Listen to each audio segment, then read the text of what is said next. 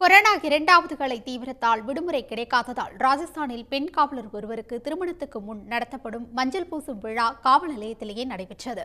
நாடு முழுவதும் கொரோனா இரண்டாவது கலையின் தாக்கம் உச்சகட்டத்தை எட்டியிருக்கிறது. இதனால் மருத்துவ பணியாளர்கள் காவல்துறையினர் உள்ளிட்ட முன்கள பணியாளர்கள் விடுமுறை இல்லாமலும் நேரம் பார்க்காமலும் பணியாற்றி வருகின்றனர்.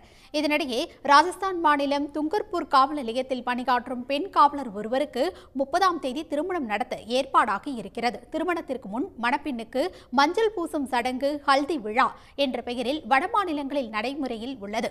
அந்த வகையில் பெண் காவலருக்கும் அதற்கான விழா நடத்தப்பட வேண்டும்.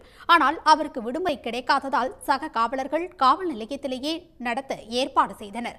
அதன்படி காவல் நிலைய வளாகத்தில் பெண் காவலருக்கு மஞ்சள் பூசும் சடங்கு நடைபெற்றது.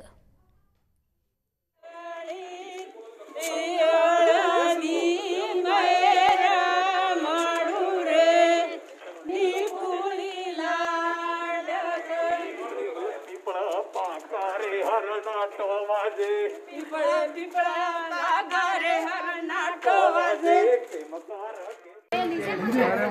பெண் காவலருக்கு நடைபெற்ற விழாவில் சக காவலர்கள் மற்றும் நண்பர்கள் பங்கேற்று சடங்கு சம்பிரதாயங்களை அரங்கேற்றினர் இதனால் விடுமுறை கிடைக்காத ஏக்கத்தையும் மறந்து அந்த பெண் காவலர் மகிழ்ச்சியில் ஆழ்ந்தார் ஹல்தி விழாவின் போது இசைக்கப்படும் பாரம்பரிய பாடலை விழாவில் பங்கேற்றவர்கள் பாடி பெண் காவலருக்கு வாழ்த்துக்களை தெரிவித்தனர் உடனுக்குடன் செய்திகளை தெரிந்து கொள்ள சன் நியூஸ் பெல் ஐகானை கிளிக் பண்ணுங்க